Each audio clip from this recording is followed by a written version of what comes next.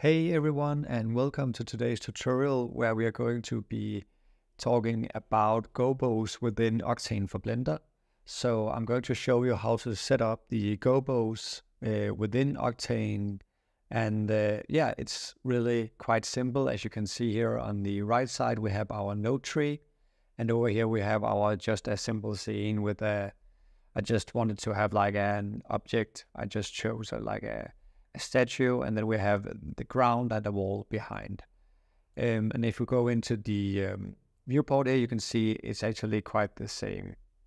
So uh, I have already tweaked around with the settings for this light. So as you can see here, we sort of have this window light, kind of um, low uh, low hanging window, just really uh, kind of uh, coming from the side into the uh, into our scene here, and actually not all the way up. So it's more of like imitating like a sunrise or a sunset light in um, in the windows. So yeah, so so this is the um, the setup, and uh, yeah, let's just do one from scratch. So I'm just going to hide this light here, just so we have our uh, simple scene here.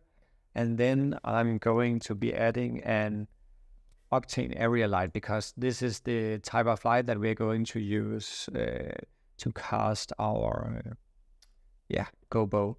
Now we're just gonna uh, drag this one up and then I'm going into the um, shader editor here.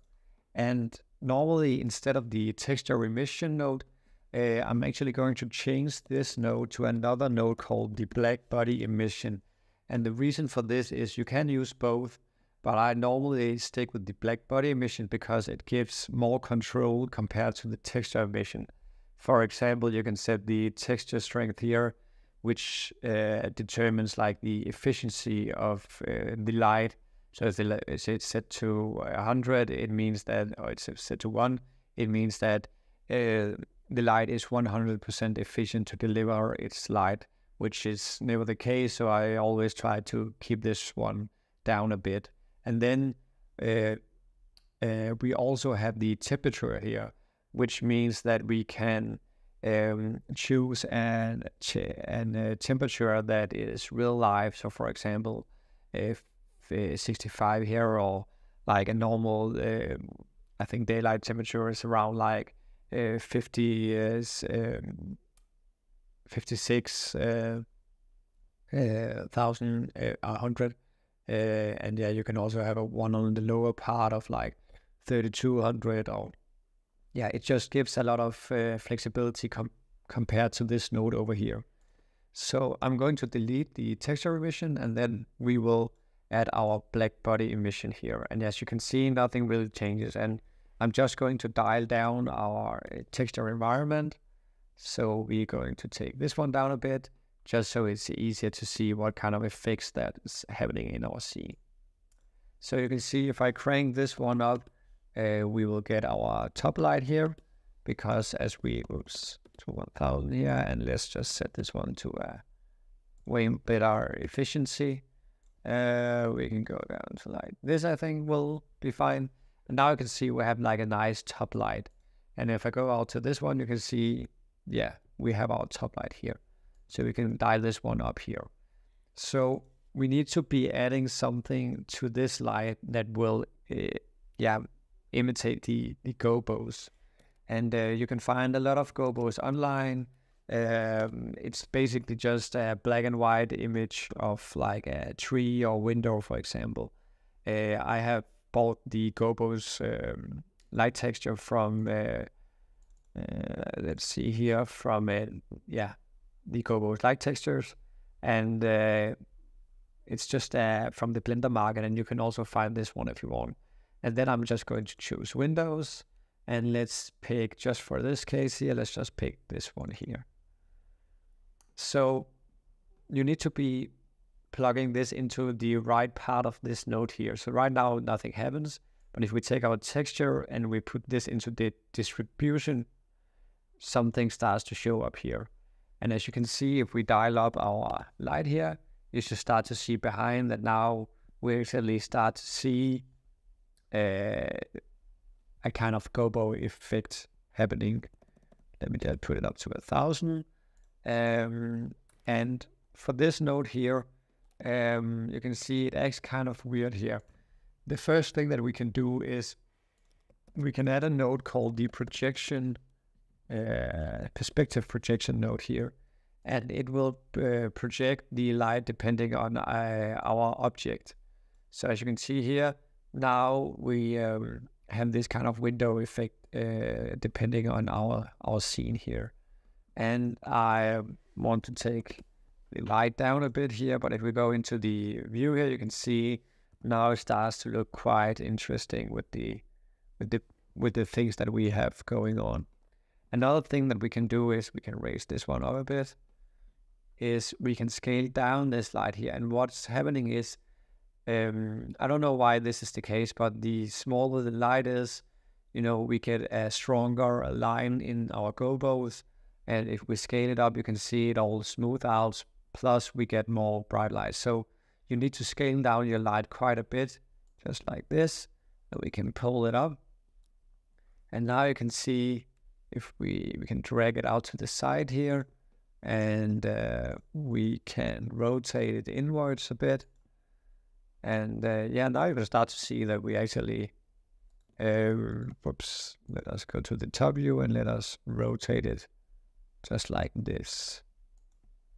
So now it's like coming from um, above and also hitting the wall down here um, or over here. Um, we can choose to, for example, under our uh, yeah our properties here, we can choose to exclude this light here. So we can, for example, do this. So we only have like a window, a, a top light hitting down just on the center of our plane here. And as you can see, this is the case. Um, so we can, you know, move this one around here, just like this. And now I can see it starts to look quite nice. Um, of course, we would have something to hit the wall, so it is not that realistic, but it's just to show you all of the possibilities that you have with uh, when creating gobos. Uh, we can also go into the shader editor here, and we can, for example, do a UV transform. And now we can start to like scale our gobo, so we can create like, um, you know, uh, more, uh, you know, larger squares and make the squares more like a rect rectangular and yeah, just like you can play around with the scale of each of the uh, sides of your gobo. Um, but yeah, so now it's a bit underexposed, so we can jump into our view to see what our exposure needs to be. And um, we can bump this one up. And one of the things that I normally do is I go into the um, the color uh, management and I'll pick the false color. And now you can see that we have a false color view uh, of our scene. So you can see the red pass is where it's more uh, exposed and the more closer we get to like bluish and grayish and dark and black colors, we will lose a lot of our power. Um, so I think we can crank this one up just to get a strong uh, window light here, key light. And um, you can see we can block out our light, uh, whoops, our um, our background light here. So if you go into the, you can see now we get really like a a quite dramatic kind of view on our scene here. We can crank this one up a bit more, I think, like this. So now you can see you start to get quite interesting shapes, and we can do all sorts of like really interesting light gobo effects and the reason why we choose to use gobos in the first place is because they are just more realistic. Uh, you know, when you see an image, um, like taking an image, it's almost the light almost always comes like through a window or it hits uh, branches and you know trees on the way uh, towards your object. So unless you're in like a control studio, um, it's a good idea to experiment with these kind of different gobos because they will um, add, you know, um, um, more realism to your scene. Um, we can dial this one up a bit again just to uh, get a more brighter image here. But now you can see we have this sort of like really cool scene here. I think it can be even more bright here. So as you can see here, we have this cool window light uh, from top hitting our ground, and you can do all sorts of things. So you know, there's I have done another scene where it was more like, uh, oops, like this here, where we um, sort of like see more of the uh, of the of the sculpture here. But in you can just play around like um, in any way you you sort of want to with these gobos and experiment a lot with how they uh, act in your scene. So I think this is pretty cool for now. And uh, yeah, so you can, of course, make it hit the wall. You can, you know, rotate and, you know, do all sorts of things. But the important th- thing to remember is to keep the, uh, light small and then, uh, and then play around with the, uh, with the power and the black body emission. And then also remember to, to play around with like the 3D transformation and the uh, perspective projection over here. Uh, that will help you uh, get the most realistic uh, gobos. So yeah, this is all for now, and yeah, hope you learned a few tricks on lighting in this one, and uh, yeah, see you for the next one. Bye.